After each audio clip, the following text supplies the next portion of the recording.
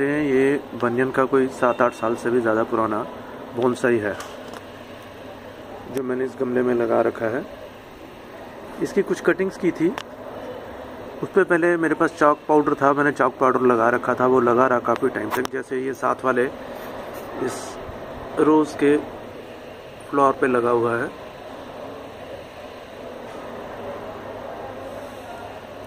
तो बरसात की वजह से ये थोड़ा सा चौक पाउडर वगैरह उतर गया तो मैंने फिर इसके ऊपर भी लगा रखा था कटिंग्स थी। तो मैंने इसकी फिर कटिंग्स के ऊपर जो प्रोटीन आती है, जो शीशों में लगती है, वो मैंने लगाई। तो आप देखिए, ये मैंने इस तरह से लगाई है यहाँ पे। ये कटिंग्स के ऊपर मैं दिखाता हूँ आपको। अभी बिल्कुल ये ताज़ी ताज़ी लगाई है। दिख रही होगी शायद।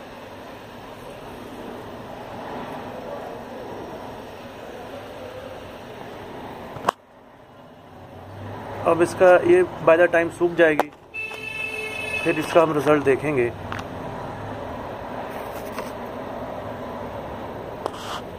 लाइट काफ़ी पड़ रही है, जो दिक्कत हो रही है मुझे इसकी फ़ोटो बनाने में।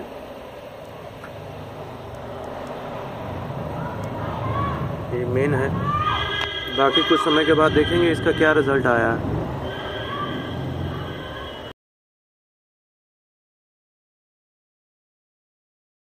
ये आप देख रहे हैं, एक मिनी बोनसाई की तरह है ये। ये बनियन ट्री का बोनसाई है। मेरे पास एक मेन बनियन ट्री का बोनसाई है। कुछ साल पहले मैंने उसकी ब्रांचें काटी थी तो एक मैंने डायरेक्टली सॉइल में लगा दी थी। वो काफ़ी अच्छी तरह डेवलप हो गया। ये वही है।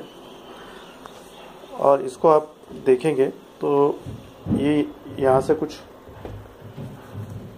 मैं वायरिंग कर रहा था इसकी ब्रांच को। तो यहाँ से ये टूट गया था। तो यहाँ से ये ड्राइनेस हो रहा है।